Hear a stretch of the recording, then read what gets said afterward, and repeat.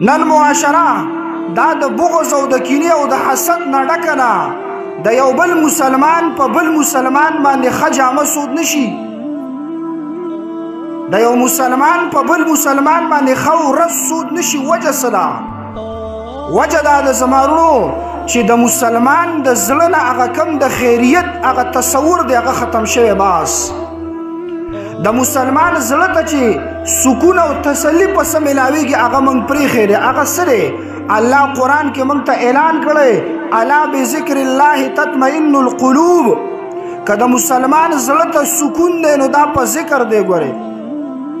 دا به پنځه وخت موس کوي دا به په دې موس کې ذکر کوي دا به په دې خپل موس کې حضور الله کوي دا به الله ته مودريږي دا به په دې نیت باندې ودريږي چې زه د خپل رب نه اوس د خپل رب سره مناجات کوم الصلاه معراج المؤمنین دا موس خو د مسلمان معراج دی په دې باندې خدای د الله سره هم کلامي کوي خبرې کوي مسلمان د موس کم حیثیت پرې خودو یو سړی زنا نشي کوي نه کوي د دې وجه نه نه کوي یاره وایي د خدای نه خو نه یریږي خدا وایي هسې نه دا خلک مې ویني سبا به مې بچو ته خلک پیغور کوي سبا به مې خاندان ته خلک پیغور کوي زنا کول دا ورته ګناه ښکاري دا نه کوي د بل چا په کور ډایرک نشي ورتلی یاره وای دا ځکه نه ورځم سبا به مې خاندان ته خلک پیغور کوي او زما به کم حیثیتي د معاشرې نه شرمیږي هر سړی دا دومره ظالم دی چې څومره د ده وس کېږي باس چې د چا څومره وس نه کېږي دومره دی ښه سړی دی چې وس یې وشو د ټولو نه غټ ظالم دقه سړی دی یو سړی شراب نسکي وس یې نشته یو سړی ستا په کور نه درځي وس یې نشته زنا کول ګناه ده شراب څکل ګناه ده د یو سړي غیبت کول دا حرام او ګناه ده د یو سړي عزت لوټ کول دا عظیمه ګناه ده والله العظیم چې د دې ټولو ګناونو نه عظیمه ګناه موس پرې ښودل دي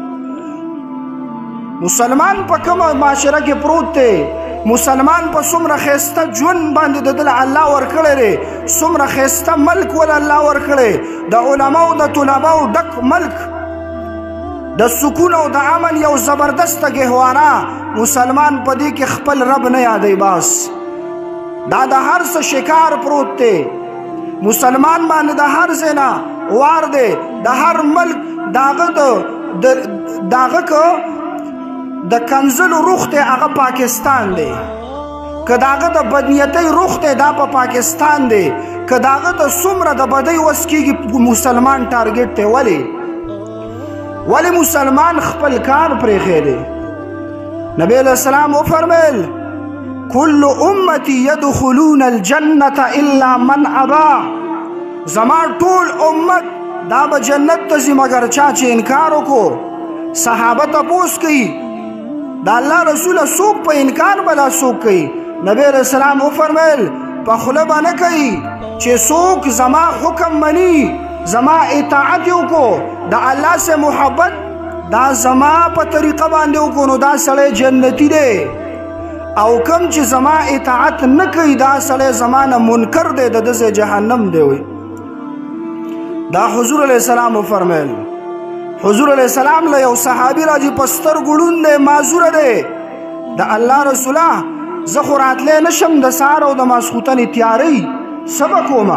زه جمع له راتلی شم نبی علیه السلام ورته وایي زه تا ته عذر دی مه راځه لږ مخکې لاړو پیغمبر علیه السلام ورته فرمایي دی خوا راشه راستوني کو د اذان اواز اوري او د الله رسول اذان आवाज خو اورما پیغمبر علی السلام ورته سوی وای چې د اذان आवाज اوري بیا تعالی په کور کې مونږ کول بالکل جایز نه دي تب جمعات ته راځي څومره مسلمانان جمعات ته راځي د سهاره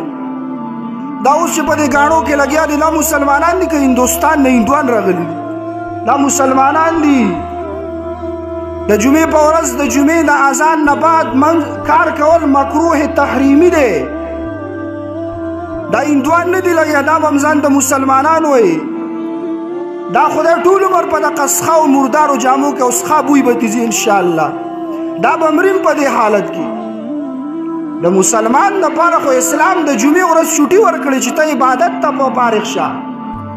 ته د جمعې په ورځ صفا غسل وکړه لامبه جامې واچوه خوشبو ولګوه د ټولو نه مخکې راشه جومات کې مخکې سپ ونیسه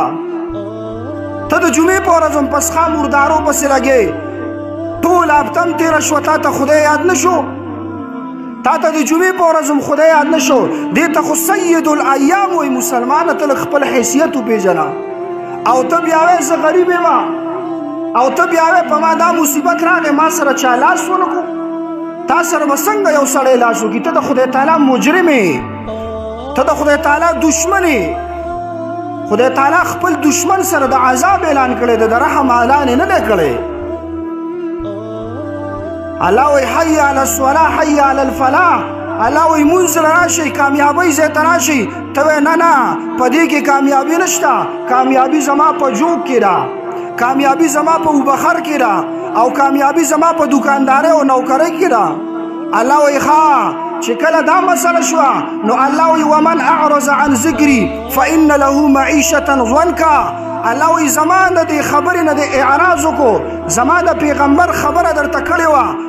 الله وی زما احکام ومنه نه منی الله وی ژوند به د لنډ تنګ کم لنډ تنګ به درله څنګه کم تا سره به پیسې او ته به پسخاو جامو کې ګرځې تا سره به ګاډې او ته به پیاده ګرځې تا سره به د دنیا مال او دولتي خو ته به د قصخا جامې بې عزته ژوند به تیرې ستا ژوند ستا زړه به د سکون ورته نه په دې حالاتو کې ستا زړه ته به تسلی نه ملاویږي په دې حالاتو کې ولی تا اعراض کړی د الله د الله د رسول نو الله وایي داسې نو چې د قیامت په ورځ الله وایي دا راپاسي ونحشره یوم القیامت اعما خدای وایي چې د قبر نه راپاسي ړون به دې راپاسم ړون نظر به دې نه لګي ړون به راپاسې نو ته به څه نه دی به وایي الهه دا لا څنګه چل دی زما خو په دنیا کې نظر لګېدو زه خو بینا وم دا ولې زما نظر نشته زما نظر نه لګي الله ولې الله ورته څه وایي کذالک اتتک آیاتنا فنسیتها اے زما بندا که د دنیا کې مې در لسترګې در کړې وي ما در باندې احکامات لاګو کړیو تا څومره زما په احکامو عمل کړي ستا ایمان داو تبنن په دې ایمان دا وې زما الته کې خو کپ پولیس رات تیریږي نو د ایمان په زور به تیریږي الته خو د طاقت په زور نشي چلے دي الته خو د پیسې او د حدی او د ډیګری په زور نشي چې تیر چلی دی د پولیسرات پول خو حضور علی السلام وي د تورې نه تیر دی د وختنه نری دی او پاغي باندې 1500 کال مزل دی 1500 کال ځان ته سوي لاندې ته جهنم دی ته په پاغي څنګه تیرېږي په دغه پولیس ایران باندې یو سړی دا نه چا په ذریعہ نه تیروزی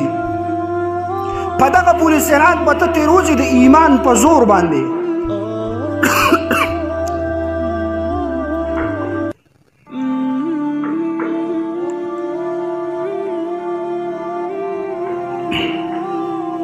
الله وی که ایمان دې کاملو نو په دغه پولیس سرات په داسې وړي د بجلی د پړق پشان پینځه وخت موز دې کو نو د بجلی د پړق پشان به ووري او چې مونږ دې نه کوو نو ستا ایمان کمزوری دی په احکامو کې ستا ایمان دومره کمزوری دی چې تا ته مؤذن اذانو کې اذان له راشه ته جومات ته نشي راتلی سهار په نیمه شپه ته ګاڼۍ ته پاسېدی شي وبخر ته پاسېدی شي د دنیا هر کار ته پاسېدی شي خو مونځ ته نشي پاسېدی دومره لوی دولت الله وي دومره لوی دولت چې ما در لکم درکړی دی مسلمانه دومره اوږدې شپې دې راپاسه ما ته ودرېږه دا کومه بادشاهي چې الله وي ما مسلمان له د تهجد ورکړې قسم دی دا ډېرو خو خو زمونږ د علماو دا په ډېرو غټو غټو بادشاهاوي نه ده ورکړې تاسو د شیخ عبد القادر جیلانی رحمت الله علیه حالت کتلی ما درته ویل کیا دی شیخ عبد القادر جیلانی رحمت الله علیه ته بادشاہ وای ستا سره مریدان دي ستا سره بلا خلق دي زما د سنجر دا یو صوبه د دې آمدن به پی سبیل الله تعالی درځي هغه ورته سوې بادشاہ غلط ګومان درا باندې وکړو یو سو اشعارو کې خبره ونډي وای چو چتری سنجری رخ بختم سیاه آباد در دل اگر بود حوث ملک سنجرم زانگا کیا پتم خمر از ملک نیم شب من ملک نیم روغز با یک جو نمی خرم باچا غلط گمان دی پا ماو کو تا زو نه پیجندم چیز سو کی ما زما په زړه کې الله دی ته چې نن د کمی بادشاہي خبرې کې نو ستا دا بادشاہي محتاج ده ته به سبا نه او ستا بادشاہي باندې به بل څوک ناست خو وی والله العظیم مال چې الله کما بادشاہي راکړې دا مال چې خدای تعالی کوم عزت راکړې دی دا ستاسو د غونډې بادشاہي باندې دغه یو شپم نور کوم مال خدای تعالی د تهجد بادشاہي راکړې دا خدای وی د ټولو نه بدترین سترګه هغه د پیغمبر علی السلام وی چې کم خدای ته ونه جاړي څومره خلک به په کلونو کلونو به خدای ته جړلې نه د دنیا نه پاره بجاړي د دنیا د هدو د وظایفو د پاره بجاړي خود دې د پاره یو چاونه جوړ چې خدایا زما بس کیږي په خپل پلان باندې هر سره جاړي دا صرف د ریا او د ریا او د نوم ناموس هغه جړه د باس قسم دې که یو سړی په خپل پلار پسې د دې خیرات وکړو چې زمانہ پلار دا مړ شوی د سره په آخرت کې سخت څه چل کیږي